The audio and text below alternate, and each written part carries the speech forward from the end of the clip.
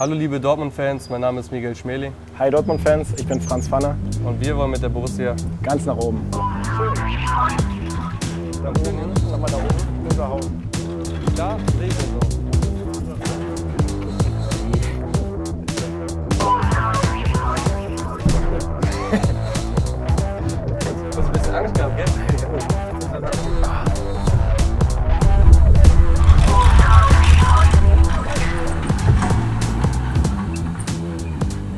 So, machen wir uns nochmal auf den Weg nach oben, ne? Nach ganz oben. Wir, haben ja wir richtig wollen viel, ganz hoch.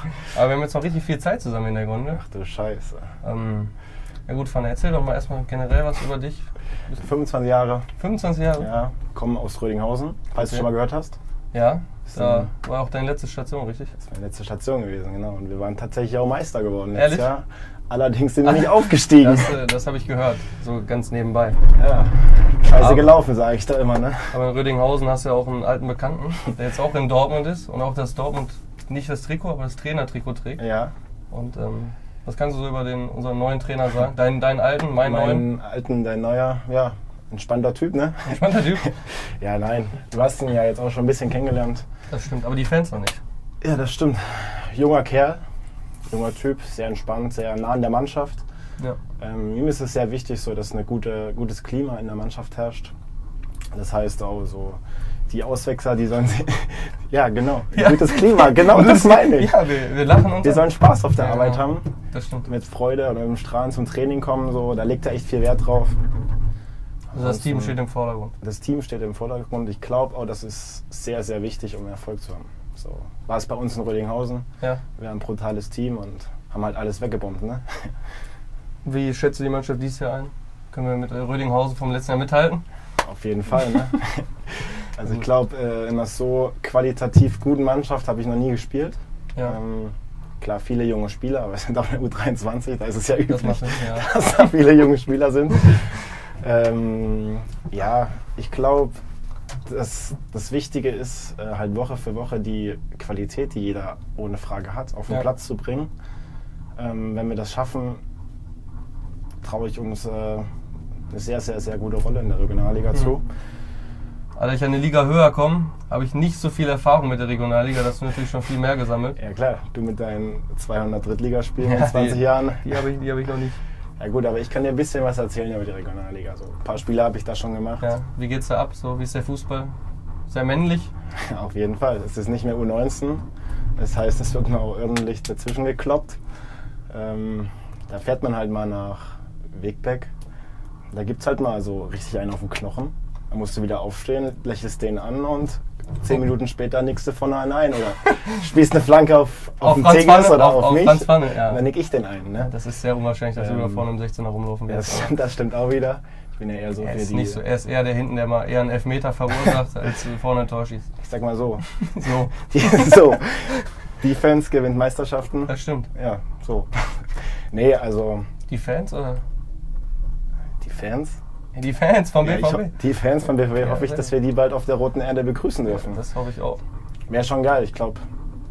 Rote Erde mit Fans im Sieg, da kann man bestimmt gut feiern danach. Also Ne? Feiern wir erst ganz am Ende, wenn wir das große Ziel erreicht haben, hoffentlich. aber man muss auch die kleinen Dinge feiern. Ne? Das stimmt. Nee, aber nochmal zurück zur Regionalliga.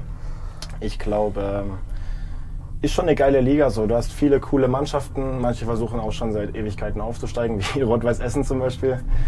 Die kriegen es nicht hin. Ja. Ähm, aber hast auch eine andere Mannschaft mit Oberhausen, Aachen. So, das sind ja Traditionsvereine. Da macht es einfach Bock, gegen die zu spielen. Und die Aufgabe ist halt einfach, sich jede Woche, egal was da für ein Gegner äh, vor einem steht, muss man sich immer neu motivieren. Und das entscheiden halt einfach Kleinigkeiten so. Ne? Jetzt auch nochmal eine Sache als gebürtiger Bautzener. Ah. Und Rödinghausen ist jetzt auch nicht so die Großstadtmetropole, würde ich mal sagen. Wie hast du dich denn jetzt im Pott hier so eingelebt? Ich als äh, 20 Jahre alter Ruhrpott-Sohn, würde ich mal sagen, habe hier schon ein bisschen mehr erlebt als du. Das wie, kann man wohl so sagen. wie Also, kommst du klar? meine Frau und unser Sohn, wir haben jetzt seit drei Wochen eine Wohnung, Ja. sind da seitdem gefühlt auch nur am Einrichten. Also Ähm, deshalb habe ich nur den Phoenixsee gesehen Ja, okay, da. zum Spazieren Mhm. und halt das Trainingsgelände, weil man da ja gefühlt den ganzen Tag auch ist. Ja. Äh, ansonsten habe ich hier leider noch nicht so viel sehen können, aber ich glaube, du kannst mir da vielleicht ein paar Tipps geben, oder? Ich kenne den Ruhrpott, glaube ich, ein bisschen besser als du.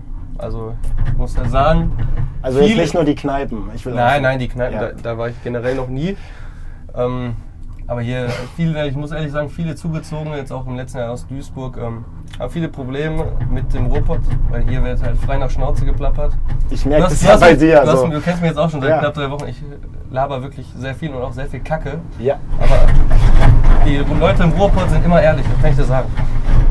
ja, du als Ruhrpotter, wie bist du eigentlich so? Ruhrpottler, da bestehen wir Ruhrpottler drauf. Entschuldigung. Ja, ist okay, du, auch du machst viel. Wie äh, hast du denn deine Liebe zu Dortmund gefunden? Das fing schon ganz, ganz, ganz früh an. Äh, auch als Gelsenkirchen geborener, Oh. in Gelsenkirchen geborener war ich immer Darf man das hier so laut sagen? Was ist denn, Herne Ost oder was? Oder Herne West? Was das? Ja, irgendwie so, ja. Nee, kann man ruhig so sagen. Nee, Papa war früher wirklich Borusse.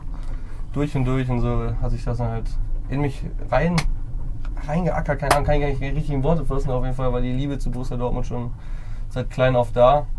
Und ähm, habe auch schon viele Spiele live im Stadion mitverfolgt. Was war denn dein Geisteserlebnis im Stadion? Ein geilstes Erlebnis. Ich muss sagen, das kann ich jetzt sagen. Okay, wahrscheinlich viele. Ja, nee, also ich muss sagen, Champions League Finale, auch wenn es eine Niederlage war, war schon ganz besonders gegen Bayern. So generell die ganze Aufmachung halt eines Champions League Finales, dann halt zwei deutsche Teams, halt lebt man nicht tagtäglich. Auch glaube ich so ein Tag für den deutschen Fußball, der da echt besonders war. Und dann halt so, ich glaube, äh, so die Derby-Siege, wir sind natürlich immer überragend. Ja, so, sowas bleibt dann halt in Erinnerung. Und ich hoffe, dass wir halt auch halt jetzt im kleinen Derby, der U23, dass wir da die Blau-Weißen auch mal kurz vom Platz fegen und zeigen, wer hier der King im Pott ist. Ja, ich glaube, wir haben da auch noch was gut zu machen vom letzten Jahr. Das Ist stimmt. so eine Rechnung offen. Hat Tigges und Rober haben uns da den Auftrag Ja. gegeben, da mal ordentlich mal zwischen zu lang. Zu Malochen. Zu Malo Malochen, du sagst es. Was Ja. im Pott gelebt wird. Gelebt und geliebt. Wie Maloche. Ich glaube, Ja. ob dritte Liga oder vierte Liga, das macht, glaube ich, keinen großen Unterschied. Ist, glaube ich, im Pott einfach so, dass Fans das Ja. mit Jubeln, wenn du den Ball ins Ausgrätscht, den Gegner auch noch die, Ja. die Hacke aufreißt. Das habe ich auch bei dem einen oder anderen Training gesehen. Im, Sp- im Trainingsspiel. Bei wem jetzt? Boah, bei Krebs zum Beispiel. Krebs? weißt du noch, als er den einer weggetackelt hat und auf einmal schreit er rum? Ja, das ist halt, Ja. das ist der Ruhrpott. Ja, ich glaube, das ist geil, oder? Ja, so macht Fußball Spaß. Auf jeden Fall. Also ich glaube, den einen oder anderen Gegner wirst du, Franz, auch in der Pfanne braten. Was ein Wortwitz. Haben wir alle mal gelacht jetzt, ne? Jetzt haben wir auch den Wortwitz für das Jahr durch.